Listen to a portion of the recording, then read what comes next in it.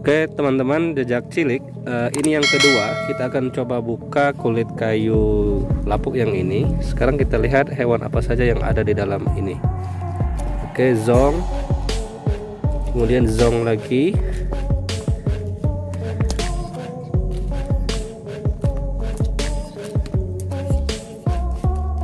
Oke itu ada kecoa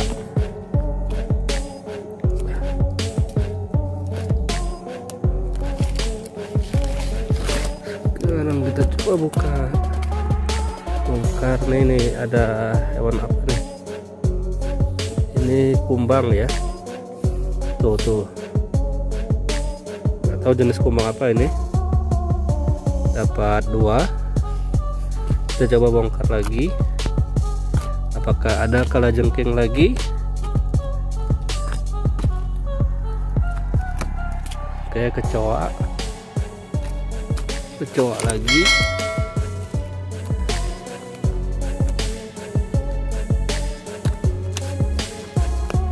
Tuh ada ulat kaki seribu. Ini bagian ekor dari ulat kaki seribu ya. Uh, sepertinya sudah sangat dalam. Ini nih kepalanya nih. Tuh. Ini nggak akan kita ambil. Takut putus kita bongkar lagi.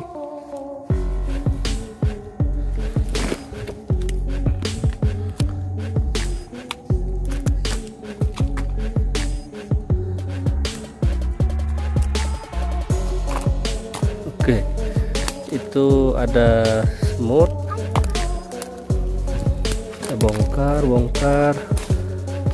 Zong bongkar ini ada dapat kumbang itu lagi jenis kumbang itu lagi. Ini tiga.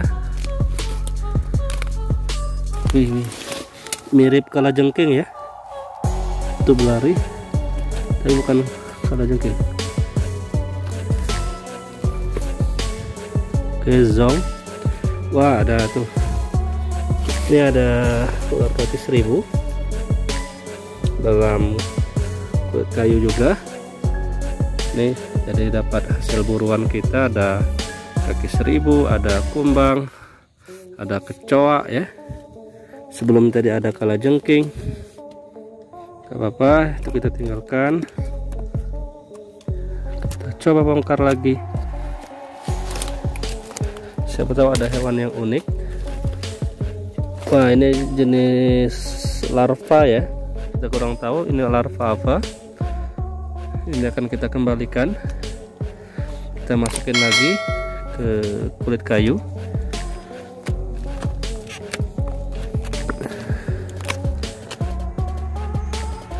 Wah ini apa ya?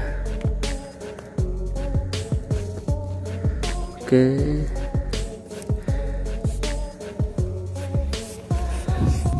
Ini kumbang lagi ya teman-teman. Tadi warna hitam tapi ini warnanya agak coklat ya coklat kemerahan. Tuh tuh. Kemungkinan larva ini adalah larva dari kumbang. Kumbang ini ya.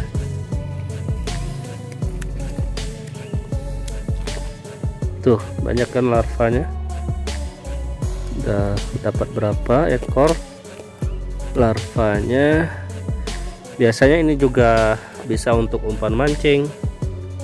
Oke dia masuk lagi tuh tuh. Kita biarin dalam kulit kayu biar dia bisa jadi nah tuh ini dapat kumbang. Kemungkinan uh, ini adalah larva dari si kumbang ini ya.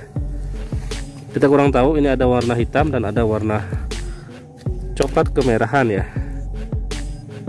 Apakah ini uh, menentukan jenis kelamin? Tapi kami kurang tahu uh, umumnya yang paling sering kita temukan ya seperti tadi kecoa kadang-kadang kalajengking oke teman-teman larva semua ya. Ya. Oke ini kita lanjutin tempat kita dapatkan kalajengking tadi. Uh, apakah ada lagi saudara dari kalajengking tadi atau induknya ya kita coba bongkar terlebih dahulu. Ini banyak anai-anai.